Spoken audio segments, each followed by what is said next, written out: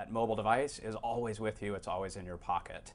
And it's got internet, it's got a camera, it's got recording capabilities, it has access to all your information, the cloud, and so forth. But it has also has access to all these core commerce, service, and other capabilities that you traditionally use your desktop for.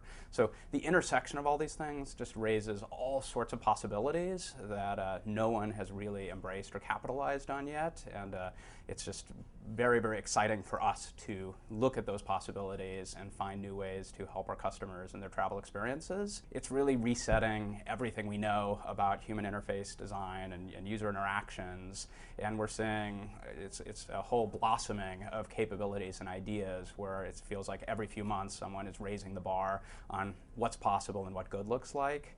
And it's been a long time, I mean, really, since, since the advent of the web, that we've had a greenfield opportunity to start over and look at how should we be leveraging all these modern capabilities and technologies in innovative ways. And the, the field is open for everybody right now. It's, it's really, really exciting you know, somewhere, depending on the, the reports you look at, say 10 to even 25% of all email that a large company sends out is being read on mobile devices. And the goal of these emails is to inform and engage your customers. And if they engage, if they actually click on the links on these emails, the question is on their mobile device, where do they go?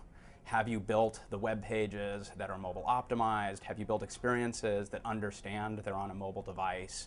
I mean, even just something as simple as deep linking into a website based on whatever it is that they're clicking on has challenged many, many mobile initiatives, which have often been these sandboxed mobile sites that are separate from the core website.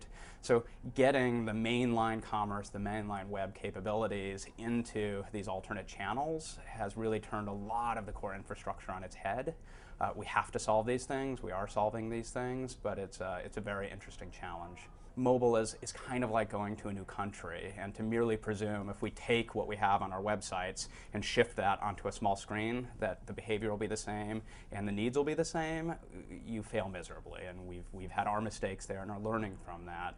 Um, what's interesting and what we're tracking is what are they doing and how do they behave differently, as it is quite different. And the better you can understand that, the better you can provide something that they're looking for users are looking to interact with travel in new ways. There is a, an ecosystem of, of, devices and access points that didn't exist, whether it be tablets, phones, interactive TV, or other devices, um, and the difference of using apps versus web. And uh, we are very heavily investing and, and believe that it's of utmost strategic importance to recognize this is how people want to interact with us, and this is where we need to be. This is a very, very new industry, and, and there isn't a lot of common knowledge out there.